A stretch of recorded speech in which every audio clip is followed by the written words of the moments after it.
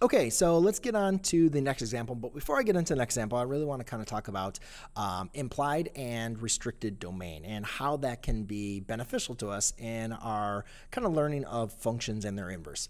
So just remember, like the implied domain is, you know, basically the set of numbers that the function is defined, and that's actually what we have been doing so far in this chapter is finding the implied domain. And you know, when we talk about implied domain, is unless we have a restriction, you know, so far we've covered like not dividing by zero or taking the square root of a negative number, then our domain is going to be, you know, defined, at least for the functions that we've covered in this chapter. So, implied domain is just, you know, kind of looking at the restrictions based on the function that you are provided.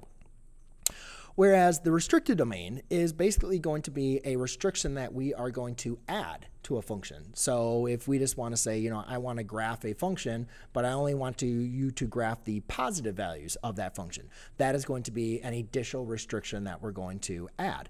And a lot of restriction, uh, restricted domains, you know, kind of come up where they are implied, like in word problems. You know, for instance, if we're talking about usually time, we're usually just talking about, you know, positive time, not going back in time. Um, you know, usually when we're talking about height, we're figuring out that like the ground is going to be zero and you're not really going like below ground. For instance, like the path of a ball or something. Um, or also like the length, you know, of something. We're not usually getting into like negative length of fencing or, you know, something crazy like that. So um, that's kind of the difference. The implied domain is basically looking at the function and making sure for what values that is defined, and then adding a different restriction or part of context of a word problem would be our restricted domain.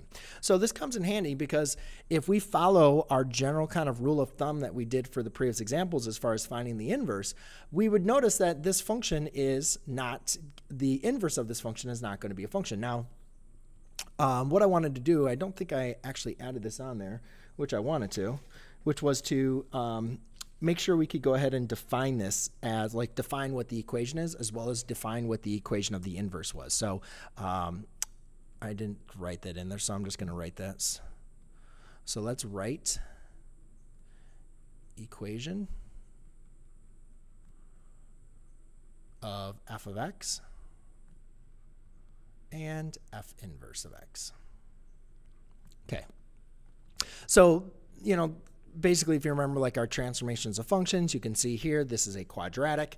Um, looks like the quadratic is being shifted up two units as we're going by ones here. One, two. You can see that um, it's kind of holding that composure that I believe it's, you know, over one, up one.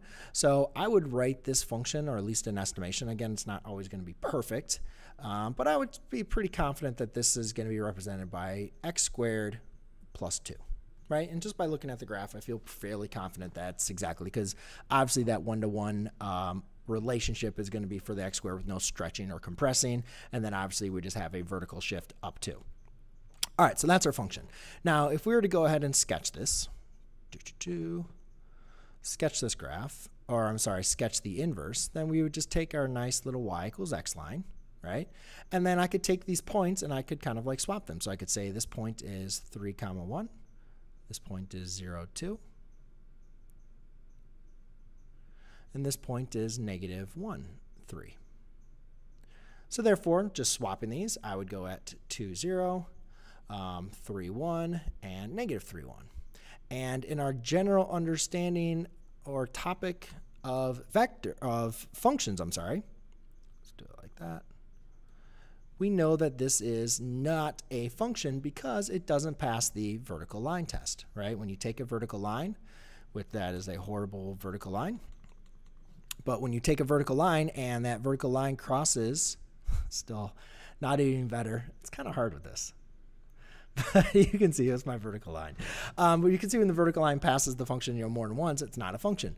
So the kind of going back to the question is, you know, can we go ahead and write a restriction that would make this a function? So can we restrict our original function f of x so that when we find the inverse, it is going to be a function? And yeah, there's infinite many ways we could do this. Um, one way that kind of comes to my head is, you know, kind of a rather simple example. Why don't we just restrict f of x for x values that are greater than or equal to zero? So remember x values, you know, along your x-axis for all values positive, that's just going to be the x values to the right. So if I was to graph that, it would look something like this. right? So I'm only graphing the positive form of my function. Therefore, when I find the inverse, you can see now that that function is only going to represent this form of the inverse. And that is exactly a inverse function. Now let's go ahead and regraph this over here. I'm not sure why I provided this, but we might as well use it, right? Okay, let's, you know, so let's kind of see then, you know, what this kind of looks like, uh, or what if we could write maybe an equation of this for our f inverse function.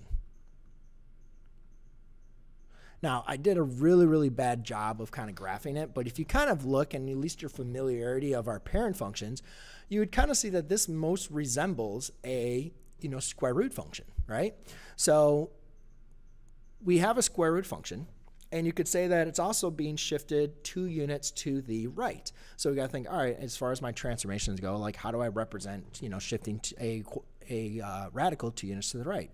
Well, I could rewrite that as x plus 2. Okay, and again, it's just going to be the positive form and so on and so forth. So what I'd like you to do is before we move on to example number three, as far as learning how to do this algebraically, what I want you to do is just kind of look at you know, our function as well as our inverse function. And go back to like our original warm up as far as talking about how to find that number that you're thinking about in your head. Look at how this function and this inverse function are related to one another right? Look at the inverse operations that are being applied. And what that will do is that will help us, um, or that'll help you as far as when we get into this next example, um, be able to start seeing more of that relationships of the function and its inverse function. So let's go ahead on to example three.